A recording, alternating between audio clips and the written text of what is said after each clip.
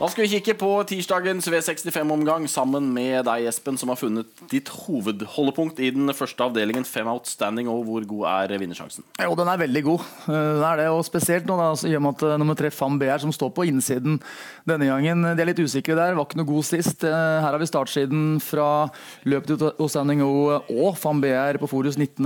mars. og Da sto Fam BR utvendig. Bjørn Stein i grønn drakt. Han henter ikke en lengde på Heggdal her, eh, og etterpå så blir det veldig enkelt på Outstanding O. De kunne kanskje valgt å ta imot hvis innsatsen til Van Beer hadde vært bedre sist, men jeg tror de er litt usikre nå. og Da lukter det at Outstanding O sitter tidlig tett.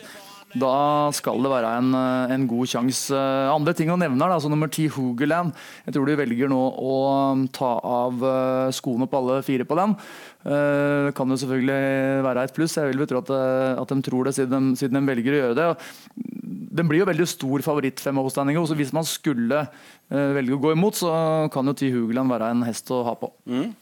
Da hopper vi til V65-finalen og en spennende vurdering her, Espen, med banker på 11 tippesterell som står vanskelig til. Møter et par bra, men eh, står alene på din bånd. Jeg valgte å kalle hesten en sjansebanker. eh, Kanskje en litt sånn morsom variant da, hvis man skal gardere Outstanding O i den første avdelinga.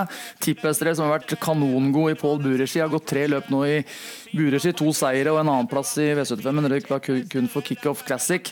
Sto nydelig til grunnlagsmessig i dette løpet her. Møter noen gode. Når Men Syos er god, den eh, utenom det vanlige egentlig. Har tjent masse penger på kort tid.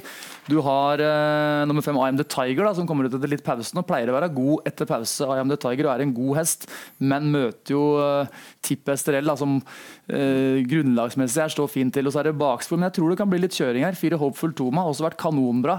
Veldig rask ut, uh, og pleier å bli tempo. Eh, Nå er det 2000 f- mellomdistanse, 2040 meter. Så uh, Hopeful Toma kan helt klart holde inn på, på den distansen også, men hadde vel hatt en fordel av sprint, uh, tror jeg. Jeg tror at Tipp kommer og, og tar dem til slutt, og per nå så er det et annet valg. Ja, Interessant eh, det. I V65-2 så velger du å spille to hester, åtte Maserati GT og ni Love, som nesten vant sist, eh, til tross for startgaloppen. Ja, Han var jo kanongod nest sist. og Ble jo favoritt i, eh, i V75, men eh, gangen etter, da gikk det slik. eh, eh, Midt bak bilen her så ser vi Tom Erga galopperer eh, der.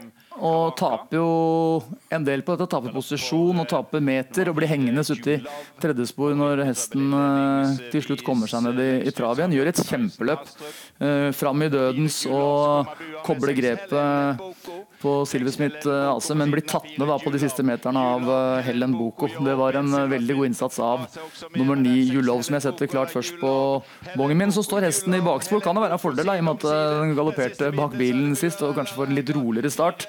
Men nummer åtte Maserati GT det er en hest som er eh, god nok til å, til å vinne. Og jeg tror nok kanskje hvis Bure er offensiv her, så ser jeg ikke helt hvem som skal ta imot.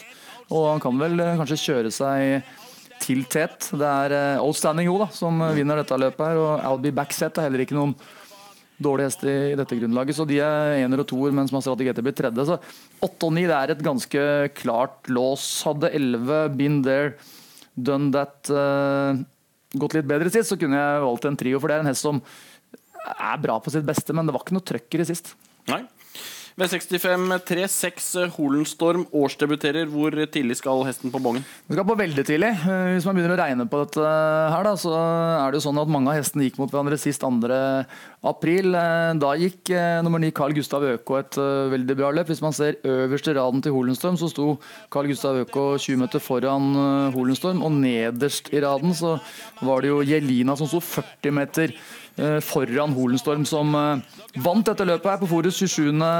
november. Det galopperer og er jo kanskje litt heldig at eh, seieren kommer, men det er en hest som eh, leser i Statskriket at eh, trener Grete Silje Skar er fornøyd med hvordan hesten har vært i eh, et eh, banejobb på Sørlandet. Og det er klart, eh, grunnlagsmessig hva den har møtt før, hvordan det står til proposisjonsmessig her, så, så er det en veldig skal det være en eh, bra sjanse hvis hesten er eh, opp mot sitt beste. Ja.